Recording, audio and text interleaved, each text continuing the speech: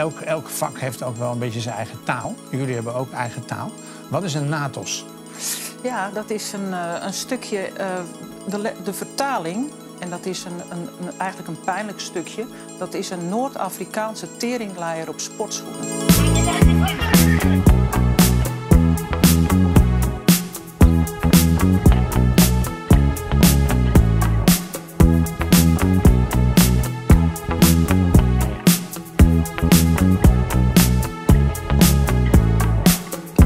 gaat hij op de dam.